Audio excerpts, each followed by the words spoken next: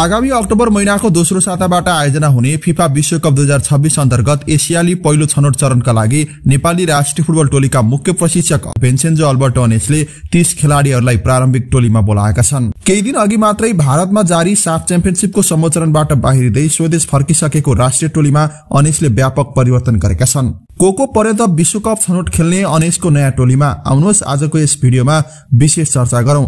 त्यसअघि च्यानलमा नयाँ हुनुहुन्छ भने च्यानललाई सब्सक्राइब गरी एक लाख परिवार पुर्याइदिनुहोला साथै भिडियो मन परे भिडियोलाई लाइक र साथीहरूमा सेयर गर्न भने नभुल्नुहोला।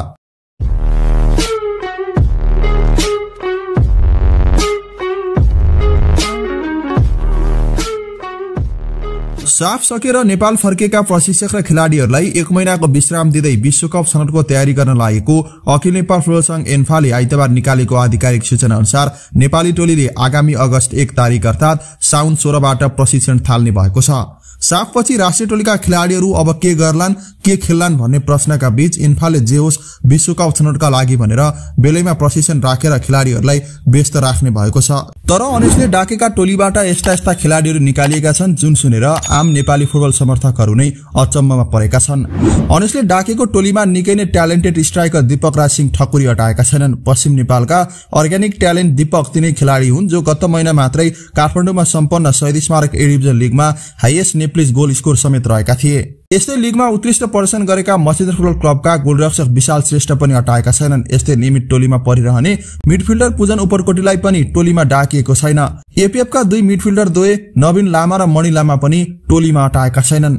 यसरी ठूला नामहरू टोलीमा नपर्नुले आम नेपाली फुटबल विरुद्धमा एउटा संकटको घण्टी बजाइदिएको छ। त्यो हो खेलाडी पलायनको अर्को लहर। प्रारम्भिक टोलीमै नपर्नु भनेको यी खेलाडीहरू कि त घाइते हुन् कि त यी पनि विदेश पलायन हुँदैछन् भन्ने नराम्रो संकेत हो। किनकि प्रशिक्षक अनिसले त सार्वजनिक रूपमै अभिव्यक्ति दिएका थिए पहिला कतिजना खेलाडी बाहिर जान्छन् त्यसबारे बुझ्छु र सोही अनुसार टिम तयार गर्छु। को को हुन् त अनेसको नयाँ टोलीबाट बाहिरिएका खेलाडीहरू गोलरक्षक विशाल श्रेष्ठ डिफेन्डर निशान खड्का फरवार्ड दीपक राज सिंह ठकुरी मिडफिल्डरहरू पूजन उपरकोटी मणिकुमार लामा र नवीन लामा। यसै टोलीमा साप्ताका खासै चल्न नसकेका नेपाली फुटबल वृत्तका ठूला नामहरू किरण चेम्जोङ विमल घरती मगर नविक श्रेष्ठ लगायतका खेलाडीहरूले भने निरन्तरता पाउँदा टोलीमा थुप्रै नयाँ युवा खेलाडीहरूको वर्चस्व रहेको छ। यस्ता छन् अनिसको टोलीमा परेका नयाँ युवा अनुहारहरू।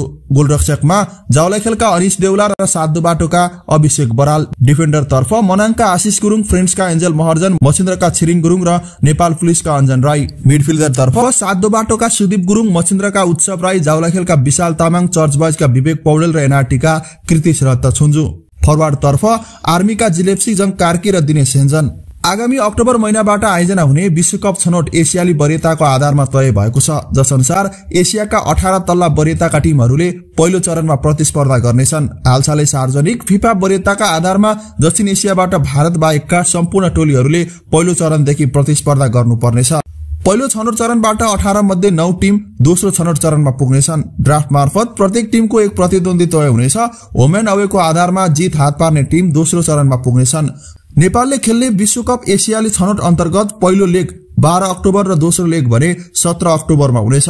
विश्वकप छनौट अघि नेपालले तयारी सुरु भाद्र अठार गतेदेखि असोज एक गतेका बीच सेप्टेम्बरको फिफा विन्डो अन्तर्गत दुई मैत्रीपूर्ण खेल समेत खेल्नेछ। विश्वकप छनौटका लागि भनेर प्रशिक्षक अनेशले सार्वजनिक गरेको टोली तपाईँलाई कस्तो लाग्यो? कृपया आफूलाई लागेको कुरा तल कमेन्ट गर्नुहोला। यस्तै तीस सदस्य प्रारम्भिक टोलीको सूची यसै भिडियोको डिस्क्रिप्सनमा राखिएको छ त्यो पनि चेक गर्न नभुल्नुहोला। नेपाली फुटबल र क्रिकेट बारे यी र यस्तै जानकारी सहित हामी पुनः उपस्थित हुने नै छौँ। त्यति लागि च्यानलमा रहेका हाम्रा अन्य भिडियोहरू हेर्दै गर्नुहोला।